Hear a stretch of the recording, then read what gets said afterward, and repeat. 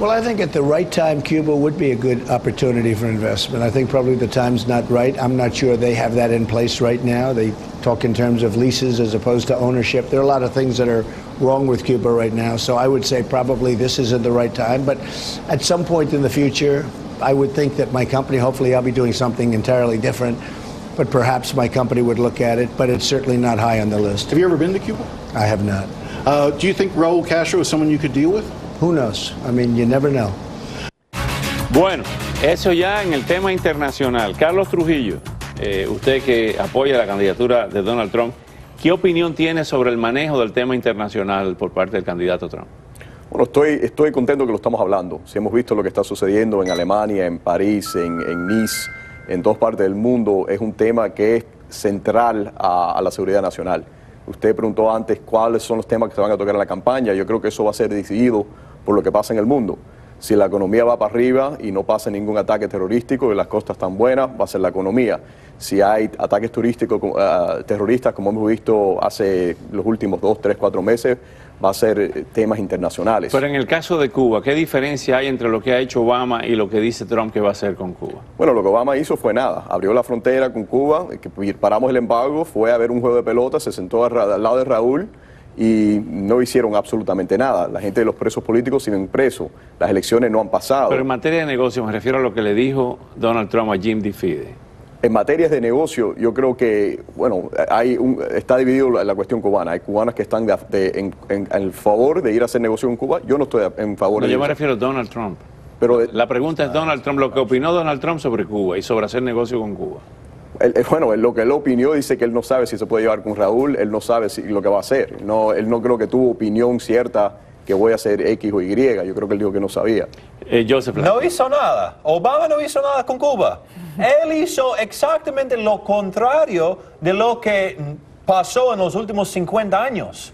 Nada pasó en los últimos 50 años. Él abrió la frontera, está normalizando las relaciones con Cuba. Ya tenemos una embajada cubana aquí y tenemos una embajada estadounidense allá en La Habana. Esto es exactamente el opuesto de nada. Esto Pero, es un eh, gran eh, cambio. eh, Y también, y lo que Trump dijo, primero, no sé si voy a hacer negocios con, con Raúl Castro, ese es código para quién es Raúl Castro, porque no conozco, porque acabo de encontrar Cuba en el mapa. Bueno, eh, eh, Pero lo más importante es que él está viendo eso desde un punto de vista em- empresarial, ok, está bien, pero no tiene ninguna opinión. Puede ser que sí, puede ser que Va- no. Evitó la pregunta. Vamos a escuchar a Carlos Trujillo, pero Aneta Deo, su opinión sobre esta posición, tanto de la apertura con relación a la, a la actual administración y la posición de Donald Trump. ¿Qué diferencia hay? Bueno, me pareció interesante porque está hablando desde el punto de vista de su compañía y sus negocios, pero está, él, no- él no está postulándose para ser el presidente de su compañía, está postulándose para ser el presidente de nuestro país. Eh, y esto no es una inversión económica eh, con Cuba. Lo que queremos con Cuba es ver cambios, eh, tratar algo nuevo que después de 50 años no ha funcionado, la misma política, y que tenemos más de 50 años, y tenemos que tratar algo nuevo, y lo estamos tratando y estamos viendo cier- ciertos avances eh, con el hecho de que las personas pueden usar sus teléfonos celulares, pueden hablar con, con Miami, con sus familiares, o sea, pueden... A pesar de que siga la represión, no hay cambio. Obviamente, es que eh, para lograr el cambio tenemos que tener más comunicación y más oportunidad de estar allí. Carlos Trujillo, ¿usted quería agregar algo sobre lo que dijo el abogado Sí, Blackie? Bueno, primero yo estuve ayer con el señor Trump y él sabe bien los- la, la- la cuestión de Cuba y lo hemos hablado, que él diga que él no sabe quién es Raúl Castro es ridículo. Pero hablar de que el presidente Obama ha hecho todo por Cuba, que no ha hecho nada. No dije ¿qué, eso. ¿Qué hemos logrado? Si en Cuba hay más presos políticos hoy en día que nunca. Gente están amenazadas y caídas a palos en la calle. O sea, que él diga, bueno, hemos hecho todo con Cuba, el presidente Obama ha sido un éxito con Cuba. Ve, Yo no pídeselo- ve díselo al pueblo cubano, ve pide al pueblo cubano si ellos están contentos sin tener elecciones, si están contentos sin tener libertades civiles. Eso no existe en Cuba.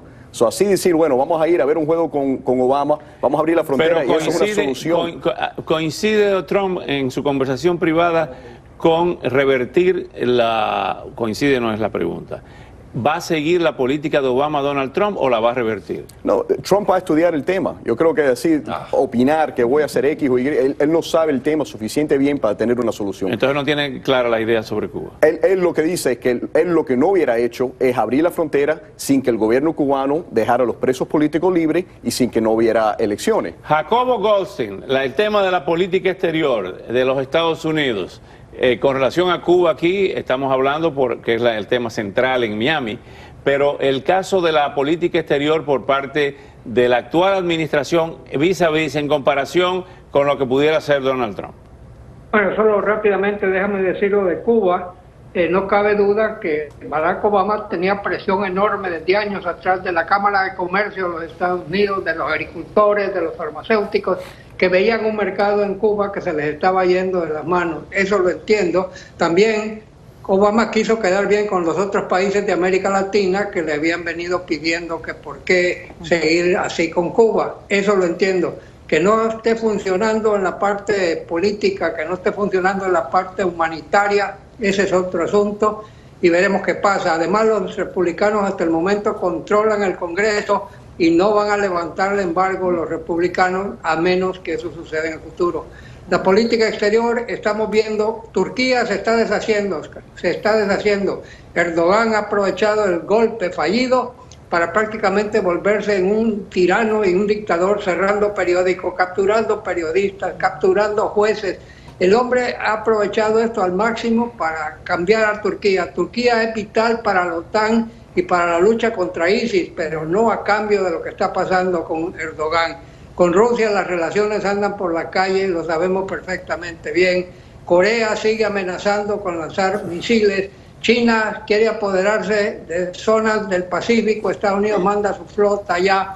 En algunas cosas tiene razón Donald Trump cuando dice que en política exterior no somos lo que éramos antes y hay muchos países que nos irrespetan. Esa es la verdad, no se puede negar. Pero, por otro lado, Barack Obama heredó una situación en Irak, en Afganistán, y hemos visto los resultados de la famosa, prima- famosa primavera árabe, que creíamos que iba a traer democracia y lo que trajo fue caos a este país. No le envidio al próximo presidente tener que lidiar con la política exterior como Y están las sin cosas. contar con Latinoamérica. Vamos a empezar ahora con eh, Joseph Lackey. Ahorita empezamos con la, la- la señora Tadeo y con eh, Carlos Trujillo. Eh, Joseph Lackey, ¿quién manejaría de los dos candidatos mejor el maletín con el botón del, del código nuclear? Simplemente- de, de Hillary Clinton Sí. y Donald Trump. Sí, ah, la galleta, ah, se llama la galleta, la- la maletín. Solo midiendo los dos candidatos por su temperatura de Twitter, yo no confiaría en Donald Trump ni una cuchara como arma, ni mucho menos el arsenal completo de los Estados Unidos. No solo las bombas nucleares, eh, sino los aviones y también todo lo demás. Pero cualquier error que este, cualquier frustración que Donald Trump sufre, él va a atacar a quien sea. Nuestros amigos, nuestros enemigos, nuestros países neutrales. pero- pero este es un país donde el presidente tiene muchas limitaciones. Hay una obra de Henry Kissinger. Sí, de a él no le importa nada, hay, Oscar. hay una obra de Henry Kissinger descrita hace 40 y tantos años, Sí. la leíamos en high school, que decía limitaciones del poderío estadounidense. El presidente no puede decidir per se solamente eh, llevar a cabo una guerra. Están los generales y está el Pentágono y está Sí. todo eso. Pero esa es la sí. gran preocupación. Cuando él habló en su discurso, él dijo que él solo, solito, solito, él iba a arreglar todo lo que según él está desa- desastroso y se va a acabar. Eso es preocupante cuando tú escuchas de una persona que quiere ser presidente de un país. Solito, solito, en este país, exactamente lo que tú estás diciendo. Las reglas son diferentes, uno no hace las cosas solos. Tiene que eh, trabajar con el Congreso, tiene que trabajar con el Senado, con la Corte Suprema. Hay Carlos reglas. Trujillo, ¿cómo ve usted este tema? Es, es importante que ellos dicen, según él, las cosas están desastrosas. No es según él, las cosas están desastrosas. Si miras el, el historial de Clinton, eh, de la secretaria Clinton como secretaria de Estado, mira lo que sucedió. En Benghazi fue eh, un fracaso total, en cual perdimos vidas americanas. En Siria, en Libia, quemaron la embajada eh, americana. En Siria, el presidente Obama dijo, vamos a escribir una línea imaginaria y si cruzan esa línea, en este momento va a haber lo que sea. Cruzaron la línea, no sucedió nada. Lo que estamos viendo en el mundo, no creo que solo es la culpa de los Estados Unidos, creo que eso es demasiado, pero es la falta de respeto a, a la nación americana, como lo dijo Jacobo. Los americanos internacionalmente no se respetan, no respetan en los Estados Unidos porque hemos sido muy débiles y no hemos dado la palabra y nunca hemos cumplido. Y lo peor que hemos hecho, Oscar, bien rápido, es el- la cuestión con el negocio con Irán. El negocio de Irán nos va a costar a los Estados Unidos en un futuro, ojalá que no, ojalá que no esté bien, pero una guerra internacional por darle a un gobierno bastante inestable al lado de Israel, que es el único amigo, amigo que tenemos nosotros en, en la región, una arma nuclear. Eh, la señora Tadeo dice que no con la cabeza, Joseph Blackie. No, imagínate, o sea, lo de, lo de Irán definitivamente es una situación súper complicada y el, arreglo que se hizo bien, bien complicado. Y creo que muchos de nosotros, hasta yo misma, no sabemos suficiente de esto porque obviamente hay cosas muy privadas dentro de ese mismo arreglo. Pero para mí es algo muy personal porque soy, judía. Pero eh, si hay alguien que no quiere que nada le pase a Israel, son personas judías. Eh, esto es algo que eh, simplemente eh, tenemos que tener una, eh, una cosa más fuerte, tenemos que ser más fuertes. O sea, ¿qué más fuertes es? ¿Guerra? O sea, hay- tenemos que evitar la guerra todo lo posible. que Nos que quedan estamos 15 haciendo.